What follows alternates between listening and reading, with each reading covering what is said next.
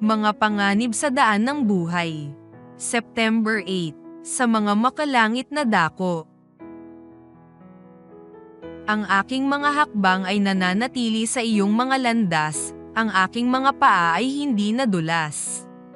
Mga awit Kapitulo 17 Versikulo 5 sa panahong ito higit sa lahat ang mga landas ng buhay ay nababalot ng mga panganib na hindi ko mahanapan ng wika upang mailarawan.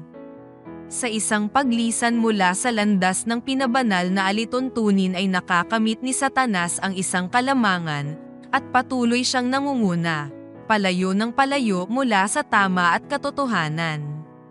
Walang sino mang kaluluwang nabubuhay, maging bata man siya o matanda, naligtas mula sa mga tukso ni Satanas, at sa mga taong pipili na makihalubilo ang mga hindi banal na tao ay may impluensyahan ang kanilang espiritu at magkakaroon ng gayon ding bunga. Ang tanging kaligtasan para sa sino man sa atin ay mapagpakumbabang lumakad kasama ng Diyos, sa pagtungo kung saan pangungunahan ng guro ang daan. Kailangan nating manalangin ng walang tigil. Hayaang manabik ang puso sa Diyos.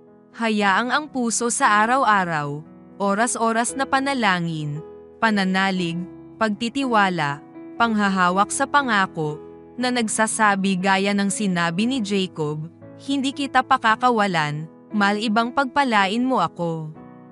Genesis Kapitulo 32 Versikulo 26 Alalayan mo ang aking mga paglakad sa iyong mga landas, O Diyos, upang hindi madulas sa aking mga yapak, sa mga patibong sa aking mga paa na hinukay ng mga tao.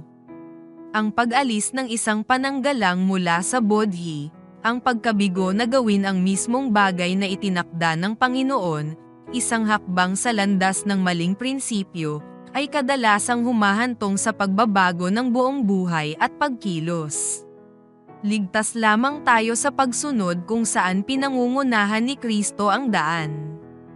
Ang landas ay magiging mas malinaw, mas maliwanag at mas maningning, hanggang sa sakdal na araw. Ang gawain ng tao ay gumawa sa pakikipagtulungan sa Diyos. Sa pag-iisa, madudulas ang kanyang mga paa, sa tila pinakaligtas na landas hindi tayo makakalakad ng isang hakbang ng ligtas sa karunungan ng tao. Kung tayo ay lalakad ng walang takot, dapat nating malaman ang mahigpit na hawak ni Heso Kristo sa ating kamay. At malalaman lamang natin ito sa pamamagitan ng pagsasaliksik sa salita ng buhay na Diyos.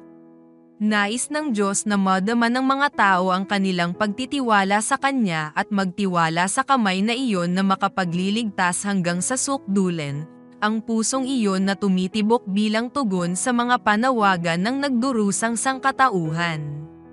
Hindi tayo dapat magtiwala sa tao o gawing bisig ang laman ang ating tiwala ay dapat nating ilagay sa isang kamay na buhay at isang pusong tumitibok sa pagmamahal sa mga nangangailangan ng tulong.